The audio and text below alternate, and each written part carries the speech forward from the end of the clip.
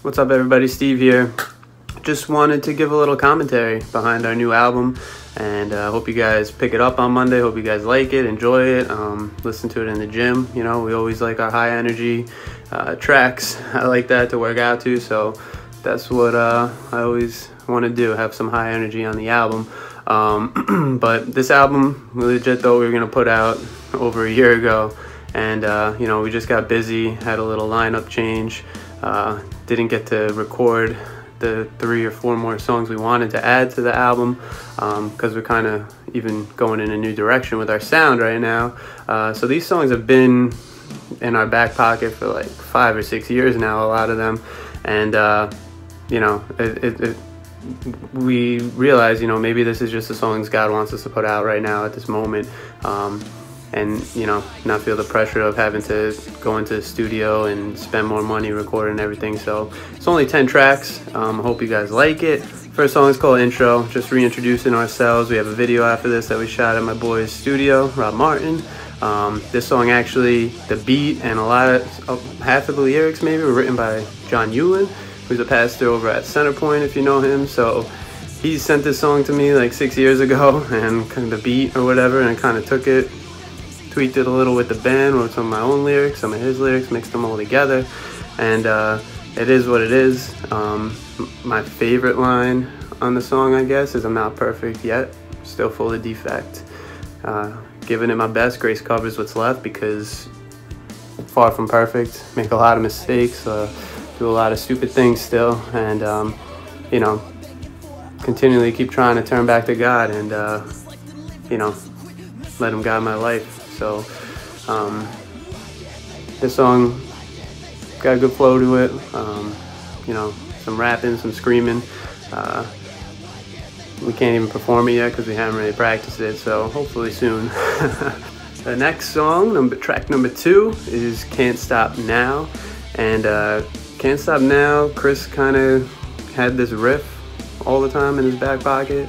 I think the day after he showed me the riff, I was listening to a sermon from my one of my old pastors up in Buffalo, and uh, he was talking about David and Goliath, and he was saying like when David was walking out, just imagine the music playing like as he's getting pumped to go fight Goliath, like the song just kicks in and it's like a march, like an army track, just just leading him out there, and that was kind of right when I heard that, I was like, man, that riff is David's song, like.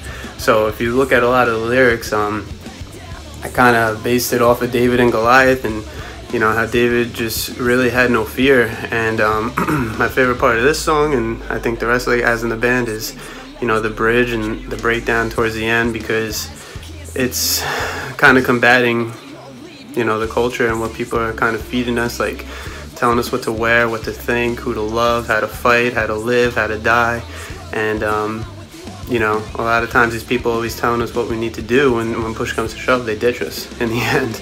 Uh, so, you know, the chorus just says, I can't stop now or give up. I know who got my back, uh, you know, and with us in the band, you know, we really believe God has our back so we could face whatever obstacles and trials that are in front of us, no matter who comes and goes in our lives. Track three is Crash and Burn. Um, Crash and Burn I wrote the lyrics to this song. It was the day before the Boston bombing, the marathon. That just hit home for me because I wrote these lyrics, you know, the suicidal bombers. They don't care about the innocent, you know. Um, and then the next day something like that happened. I was just like, damn, like, you know, this life is so temporary and in the blink of an eye it could end at any moment. So, uh, you know, that's what Crash and Burn is about just seeing all the things going on in the world and seeing that it's actually a lot of it is written in in the Bible and scripturally. Um, in Christ we got no fears, it says, you know. So like that track. Made a, started making a cool video for that. Um, it's all animated, taking forever. So I don't know when that's gonna be done. Um, the next track is Sounds of America, and for this track, I just kind of it was really just to build up American Dream, we have a cool video I made to that, um, and it's just sound bites from, you know, 9/11, sound bites from uh, terrorist attacks, shootings in our country, and stuff like that. Some of the riots and stuff. Um, and it's basically in those moments, you know, a lot of us walk through life not even giving a thought to God, but in those moments, you know, I recognize people are screaming, oh my God, oh my God, you know, or Jesus Christ, you know, everybody, you have them on your lips, you have them in your words, in your speech when everything's going wrong. And uh, if you look at the video, it's me kind of looking at the world and everything that's going on and then writing in God We Trust all over my arms uh, just because I think that's the reminder that America needs. Um,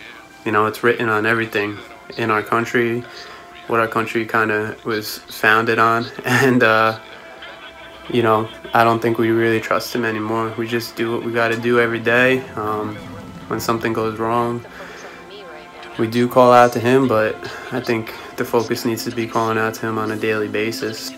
So that's what Sounds of America is about. Just remember, you know, remember who you trust in every day. You trust in yourself or you trust in God. After that is American Dream, Break Free. This song, uh, Nigel, yeah, Nigel wrote a lot of the Nigel talented guy. he wrote a lot of the parts of this song too. Um, originally, we obviously tweaked it, and it ties into Sounds America where we just forget about God in those moments. Um, and if you look through some of our videos, we have each one of us talking about the significance of that track. Um, song is just about, you know, rebelling against the culture and what they're feeding us, and don't take your freedom and your safety for granted. Um, the next track, a little interlude of Billy Graham talking about the tongue because the song after that is Sticks and Stones, and uh, you know, it's just. Billy Graham's just talking about the tongue sermon I found real quick. Uh, we actually put it together last minute just to give us a tenth track, so we didn't have nine tracks, but uh, wanted an interlude to uh, you know speak to us because I think a lot of us aren't careful of how we treat others with our tongue and how we speak to others. Um, so hope that speaks to you because Billy Graham speaks to a lot of people. Uh, the track after that is Sticks and Stones. We had this beat and I had no clue what to do with it and then my friend, one of my friends, Jamie Carr, he wrote a poetry book, and one of the poems I read was Sticks and Stones may break my bones, but your words will just destroy me. I think he wrote. I don't know if he wrote destroy me. Your words will break me, or sticks and stones may break my bones, but your words will, maybe maybe they were just destroy me. And I just remember like, yo, like that's truth right there. You know, a lot of us think like, yo, we're taught that rhyme at a young age, like but your words would never hurt me, but they do. Words uh, destroy us, destroy our heart, destroy our minds, destroy our lives. So, uh, you know, this is probably the heaviest track on the CD. Me and Nigel both screaming on it, uh, the same thing over and over again. But, uh, you know, I hope it gets you pumped up. And, um, you know, I, I really like it. And I like the lyrics, you know. Sticks and stones may break my bones, but your words will just destroy me. So speak truth, speak life, speak love, because your words, they carry poison. It's just a reminder to be careful how you speak to others, uh, people you care about, people you love.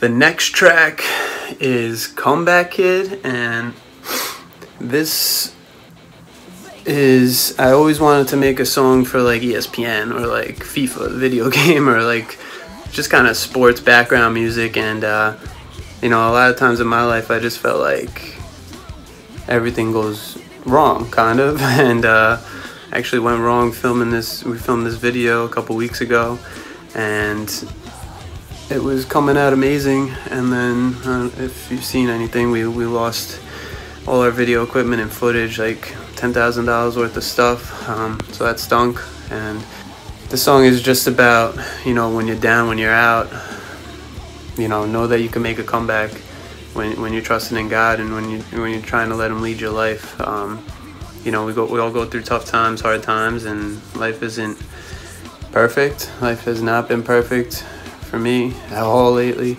Um, and so I, I, just bumped this song saying, you know, help me make that comeback, God. Um, lyrics are when I'm falling behind, I'm a come back. When I'm losing my mind, I'm a comeback kid. When I'm going insane, I'm a comeback kid. And when you think you got me beat, I'm a comeback kid. So, song after this is I Don't Mess Around, track number nine.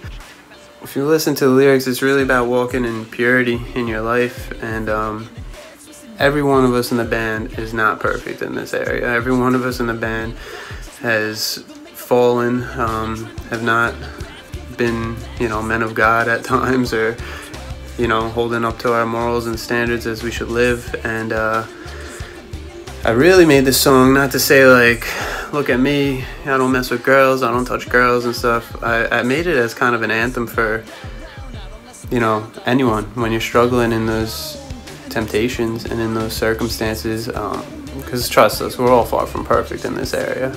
Um, but there, there's been times when, you know, I'm in some tempting situations and all of a sudden I'm just thinking in back of my mind, I don't mess around, I don't mess around, round, you know?